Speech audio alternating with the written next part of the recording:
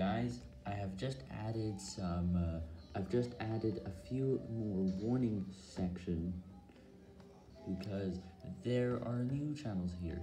I sorted them by the number of days they had left, and they look like this now. Do you think that's great? There's 15 of them. There's 15 of those channels now, and the inactive channels too has also had a small update, which had to sort near the bottom. Here is what happened. It looks like this.